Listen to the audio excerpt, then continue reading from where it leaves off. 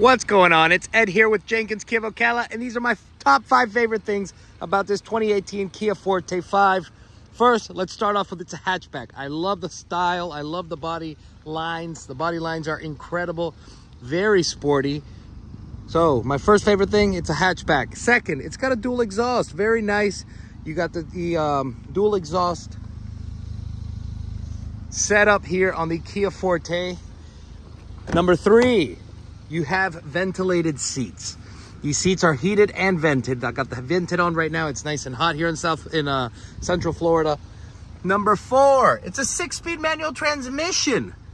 Six-speed manual transmission in this 2018 Kia Forte 5. And number uh, five, my fifth favorite reason, my fifth favorite thing about this car is definitely under the hood. It's a 1.6 turbo. So there you go. Top five favorite things about the 2018 Kia Forte 5. Now you know.